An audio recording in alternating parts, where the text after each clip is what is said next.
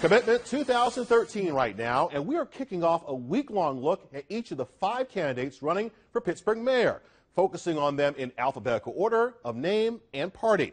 And tonight we start with City Councilman Bill Peduto.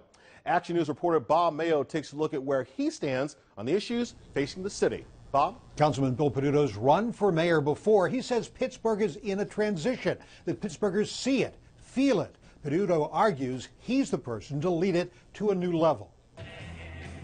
Bill Peduto is pledging to build a new Pittsburgh, saying his issues and his run for mayor reach beyond his council district and across the city. To find like minded people who believe that we can reform city government, clean up City Hall, and at the same time refocus our energy into our neighborhoods so that you start to see that same type of economic growth and development occur all over Pittsburgh. Peduto points to his reform issues during 12 years on city council to show where he wants to take Pittsburgh. When we fought against the, the corruption that's involved in pay to play politics and ending no bid contracts and putting campaign finance reform, it was to end the type of old political machine that has run the city for too long. Long a rival of Mayor Ravenstahl, Peduto got into this race before the mayor dropped out and sees himself as a challenger to the status quo. We want to break those shackles of an old political machine. We want to send the Redd Up crew to City Hall, and that's what I've been fighting for.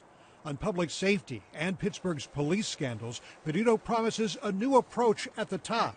I want to have a solid public safety director, somebody who either is a special agent in charge background from the FBI or from Homeland Security or retired high-ranking military official that understands law enforcement and coordination of public safety services.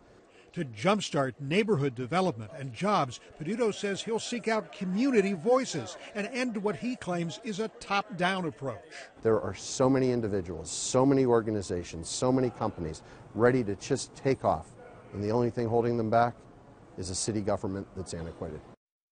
Bill Peduto is betting his immediate political future on this race for mayor. He chose not to run for re-election to his seat on city council. Live in the newsroom, Bob Mayo, Channel 4 Action News. All right, Bob, thank you very much. And tomorrow, we're going to take a look at mayoral candidate Democrat A.J. Richardson followed by Democrats Jack Wagner on Wednesday, Jake Wheatley Thursday, and then on Friday, we're going to take a look at the sole Republican candidate, Josh Wander. And if you missed one of the candidates,